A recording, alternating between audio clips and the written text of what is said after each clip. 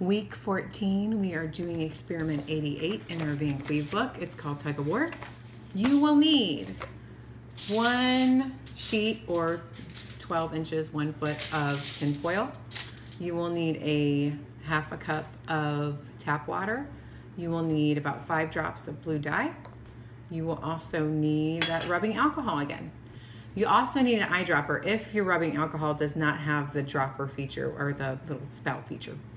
Mine does, so I don't need the eyedropper. Okay, so what you need to do is take your water that's in the cup, put your drops of dye in there so it's nice and dark and blue. You're not going to use a whole half a cup on this foil sheet or otherwise it'll just go everywhere. And it says and it says right here that the thinner layer, the thinner the layer, the better. So we want to put a nice thin layer. So what we're going to do is we are going to pour a thin layer it said to smooth it out, and I tried to smooth it somewhat, but it's supposed to pulsate, like it's supposed to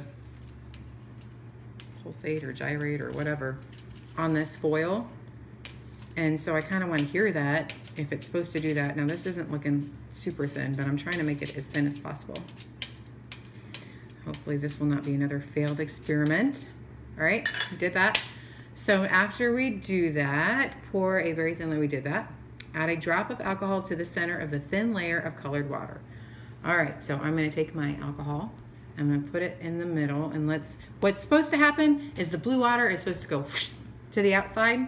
It acts kind of like a magnet where, you know, like two negatives don't connect, so it separates, and that's kind of what's happening here. The water and the alcohol are supposed to spread apart. Uh, the water is supposed to rush away from the alcohol and it's supposed to leave a very thin layer of alcohol on the foil. And as the water pulls away there's supposed to be a pulsation around the edge of the alcohol. Let's see if that happens. You ready? Want to pan over it? Here we go. We're going to drop it right in the middle.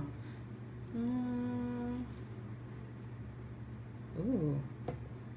It's doing it. See that? See how it's pulsating right there? Can you get that? Get that. That's pretty cool.